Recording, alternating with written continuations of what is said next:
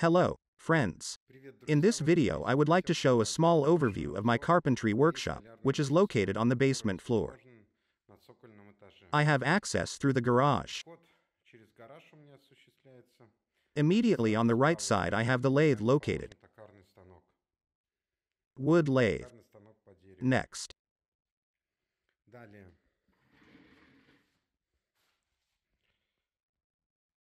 We're the ones with the oscillating drum grinding machine.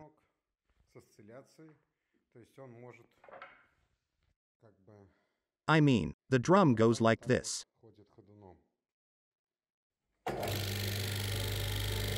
And there he is. This is where I place the drill press. I made a cabinet for it to store all kinds of drilling accessories. Here I have homemade clamps, conductors. There's a grinding little bit of material here. There are drills and all sorts of fixtures downstairs. One of the main machines is the sawing machine.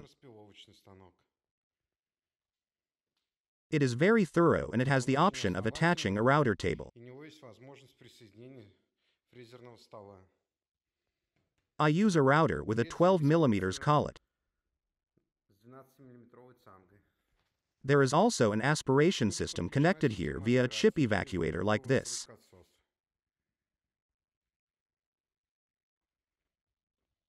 It is wired to all the machines that are on this side.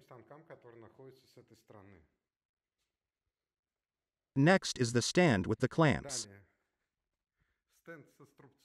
Here are the tires for the plunge cut circular saw.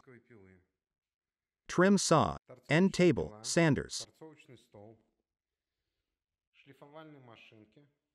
This is where I keep the abrasive. Handheld circular saw. There's tool cases, a case with a power sander. This is where I keep the small clamps. Here are the fixtures from KWB LineMaster.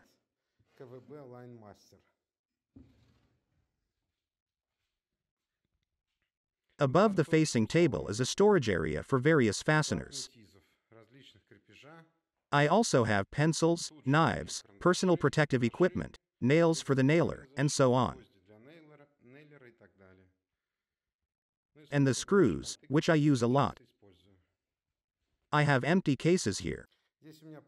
Case with fasteners, bolts and nuts. Glue. That's where I keep my DeWalt plunge cut saw. Here is a dowel milling machine from the company Mafell. This stand of screwdrivers and some cordless tools. I have a cordless power drill, four screwdrivers, one screwdriver.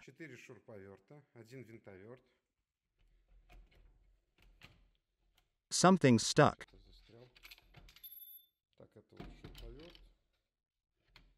It's a screwdriver and a screwdriver.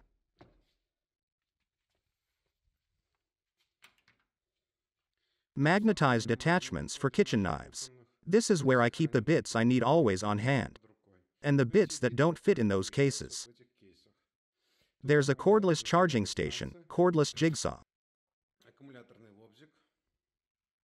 Personal protective equipment, large coiled Forstners, earpieces, milling circlet.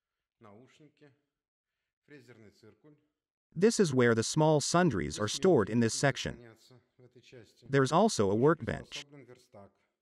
Under the workbench is a compressor, emery board, various angles, marking tools.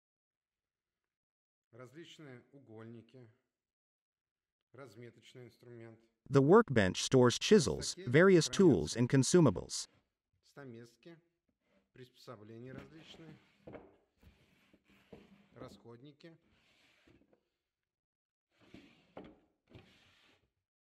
and all sorts of stuff that's needed in the job. This is where the vacuum cleaner was placed. By the way, there's a vacuum cleaner under the miter saw too. It's attached automatically. When you turn on the miter saw, this vacuum cleaner comes on right away. I use this vacuum for sanding and for cleaning the room. This is also where the jointer is located. Above it are the chancers, screwdrivers, mallets, scissors. There's all kinds of hacksaws, rulers, planers. A saber saw is placed in the very corner. There's also a charger for the DeWalt. Here is the button to activate the forced ventilation. There is also a jointer machine with a pedestal. I also store band saw blades and discs in the drawer.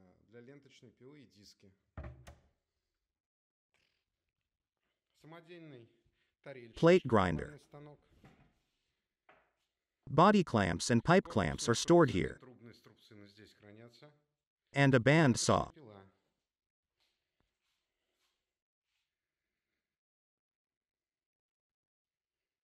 All machines are also connected to the aspiration system, going into the neighboring rooms. This is where I have my milling bench. I keep my router bits and cordless router here.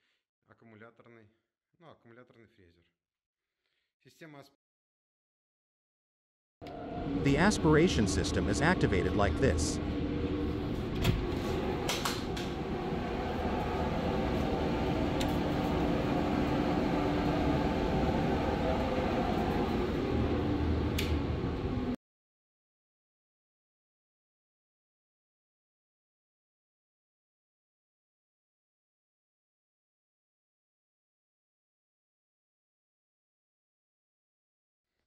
I also have a small warehouse located here. That's the workshop.